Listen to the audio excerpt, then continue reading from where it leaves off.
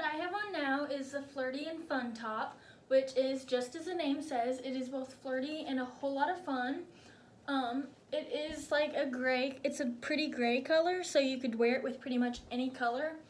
Um, this is one of those shirts that you can definitely wear alone, and I'll show you why in a second.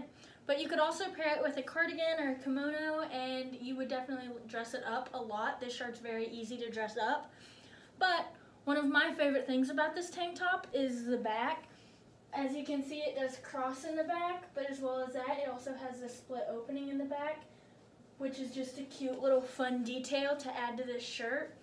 It also kind of goes down to a V, like up here, and it gets shorter in the sides.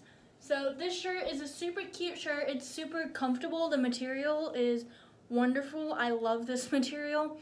But you could, like I said, you could definitely dress this up with a necklace, with a cardigan, kimono, or you could wear it as is and it's still gonna look super cute and you're gonna get all kinds of compliments on it.